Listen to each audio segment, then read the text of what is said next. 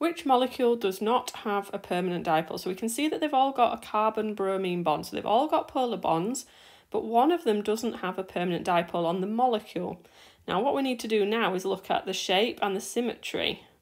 So when we've got CHBr, uh, CH3 with one Br, so they've all got this tetrahedral shape. Now if we've got three H's and one Br, and we put our polar bond on here, delta minus, delta plus, we can see that there's a, a minus end and a positive side to the molecule. So this molecule has a permanent dipole.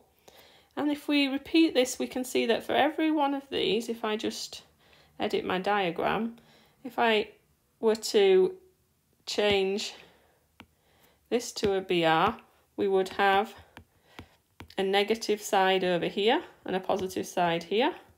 This would.